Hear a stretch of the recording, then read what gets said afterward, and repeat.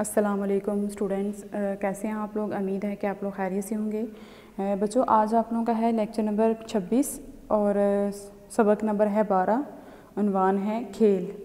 तो बच्चों हम जो है अपना लेसन पढ़ेंगे आज। सबसे पहले हम जो है इसके अल्फाज के मायनी, वो पढ़ेंगे। तो पहला अल्फाज है, चुस्त तवाना। तो चुस्त तवाना का मतलब है सेहतमंद, फिर है शमशीर जनी, यानी इसका मतलब है तलवार चलाना, फिर है हदफ, निशाना नेक्स्ट अल्फाज है कोपिमाई मतलब है पहाड़ों पर चढ़ना, चढ़, चढ़ाना। तो बच्चों, ये आपके अल्फाज के मायने थे। अब हम इसका जो है बुक रीडिंग करते हैं। तो बुक रीडिंग में जो है खेल इसका जो है लेसन है। तो सबसे पहले जो है बच्चे खेल का लफ्ज़ जो है, वो मज़क्कर इस्तेमाल किया जाता है, यानी खेल खेला जाता है बच्चों। सबसे पहले बात जो ये है कि खेल जो लफ्ज़ है, वो मज़क्कर है। खेल खेला जाता है, खेली नहीं जाती। तो बच्चों, अब हम खेल की अहमियत और इसकी अफादत के बारे में पढ़ते हैं। खेल जो है, पहले हम इसके, सबसे पहले हम इसके मतलब पढ़ते हैं, खेल क्या है?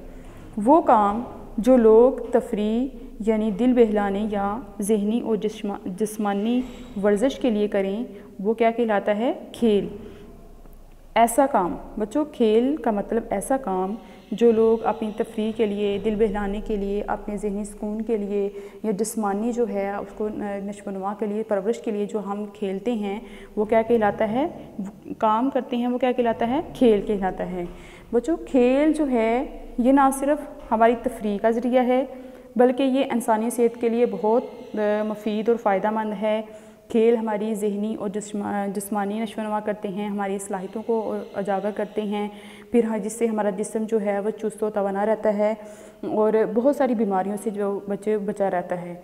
अगर हम बच्चों, अगर हम खा, खाना खा के हम बैठे रहें, उछलें, कूदेंगे नहीं और मतलब चलें, फिरेंगे नहीं कोई खेल नहीं खेलेंगे, कुछ भी नहीं, ये काम नहीं करेंगे तो फिर हमारा जिसम जो है वो बिल्कुल जो इंसान जो है वो मोटा और जो बहुत सारी बीमारियाँ जो हैं उसे लाक हो सकती हैं। इसलिए इंसान को जो है अपने जिसम को चुस्त तवाना रखने के लिए जो है वो हमें डिफरेंट किस्म के खेल खेलने चाहिए, उछलना, कूदना चाहिए वर्जिश करनी चाहिए। सुबह सवेरे इंसान जो जो लोग सुबह सवेरे बच्चों वर्जिश करते हैं वो लोग जो हैं वो चुस्त तवाना और जो है चाक चो चाकू चुबंद रहते हैं।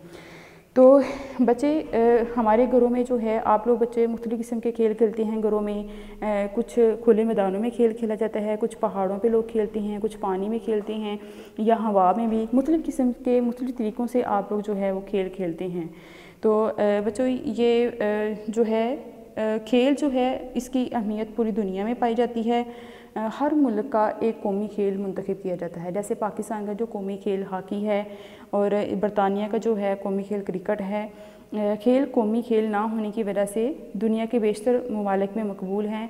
कुछ ऐसे खेल हैं जो दुनिया में मकबूल ना होने की वजह से, बल्कि मुख्तलिफ़ इलाकों में वो मकबूल है। यानी कि वो मखसूस नहीं है। मुख्तलिफ़ इलाकों में वो खेल खेले जाते हैं, जिसमें फ़ुटबॉल जो है, वो मुख्तलिफ़ जो है इलाकों में, मुख्तलिफ़ ममालिक में वो खेला जाता है खेल।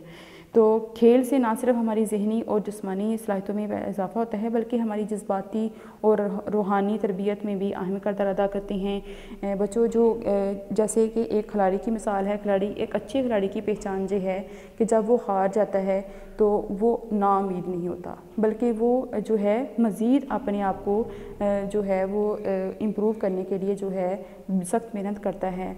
बहुत कुछ सीखता है और सीखने का जज्बा भी रखता है।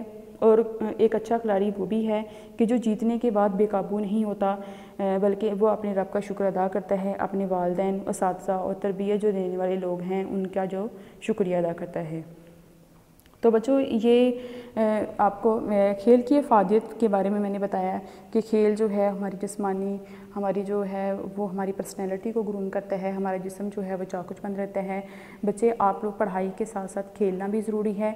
ज़रूरी नहीं कि हम इंसान जो है कामयाबी हासिल करने के लिए जो है वो पढ़ाई ही जो है वो ज़्यादा इंपॉर्टेंट है। इसके साथ अपने जिसम को चुस्त तवना रखने के लिए हमें खेलना भी चाहिए उछलना कूदना भी चाहिए। इसके बाद है बच्चों खेल, आगे बच्चों आगे बैन अवी खेल। यानी इंटरनेशनल लेवल पे जो खेले जाने वाले खेल्स हैं, उनको, इनके बारे में इनकी फ़हरिस्त जो है उन्होंने बनाई हुई है, यानी कि बहुत लंबी फ़हरिस्त है इसकी। तो जिसमें जो है football, cricket, hockey, volleyball, tennis, boxing, wrestling, skating, gymnastics, table tennis, badminton तीर अंदाजी नेज़ाबाजी, पिराकी, कश्ती रानी, पोलो शमशीर जनी को पेमाई साइकिलिंग स्नोकर एथलेटिक्स एथलेटिक्स वगैरह। एथलेटिक्स खेलों के इस मजमू का नाम है। बच्चों, जिसमें मुख्तलि किस्म के दौर के मुकाबले वॉक करने, यानी चाल, चलने, बारी गोला और डिस्क डस्क फेंकना शामिल हैं। तो बच्चों, ये बैन अवी सतह पर खेलने वाले खेल हैं, जो इंटरनेशनल लेवल पे जो हम खेल खेलते हैं, वो ये वाले खेल हैं। फिर हमारे बच्चों, इलाकई खेल हैं।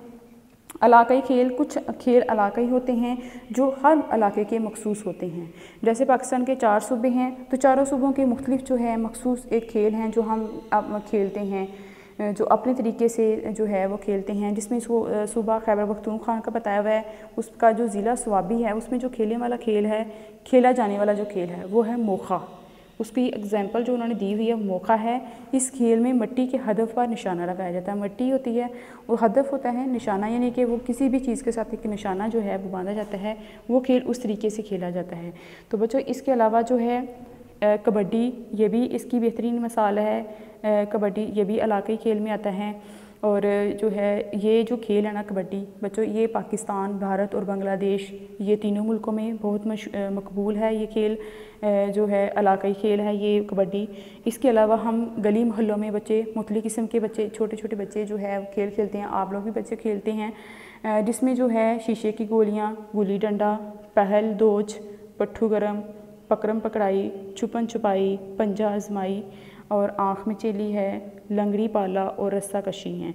तो बच्चों, ये इन खेलों को मुख्तलिफ़ ज़बान में मुख्तलिफ़ नाम दिए जाते हैं। बच्चों, ये जो हम हम अपनी ज़ुबान में जैसे पंजाब के लोग रहने वाले हैं तो पंजाबी लोग जो है वो गुल्ली डंडा, पिट्ठू गरम पकड़म पकाई, हम इस तरह के जो है वो अल्फाज यूज़ करते हैं, उनके इस तरह के नाम रखते हैं। लेकिन जो जो पश्तो बोलते हैं, जैसे खैबर पख्तूनख्वा के लोग हैं, पिट्ठू गरम को वो जो कहते हैं डोज़ो गुरब, डोज़ो गरब कहते हैं और छुपन छपाई को कहते हैं पट पटोने ये वो जो है पश्तो में जो है, पश्तो ज़बान में ये इनके नाम हैं। किसके नाम है? पिट्ठू गर्म का नाम है, जो हम पंजाब के लोगों ने ये नाम रखा हुआ है। और बलोची में जो है, लंगड़ी पाला बलोची ज़बान में कपगी कपगी कहा गया है। और गुली डंडा को उन्होंने तलंग गवाजी तलंग गवाजी कहा है। इसके अलावा आँख मचोली का खेल जो है चमबंद चमबंद कहलाता है। ये बलोची ज़बान में इनके नाम हैं। तो बच्चों, ये खेल का लेसन था जो मैंने अभी आपको पढ़ाया है और अब हमने डास पे डायरी जो है डायरी आपने क्या करनी है? अल्फाज के मायने याद करने और लिखने हैं और बुक रीडिंग भी पढ़नी है। ये आपकी डायरी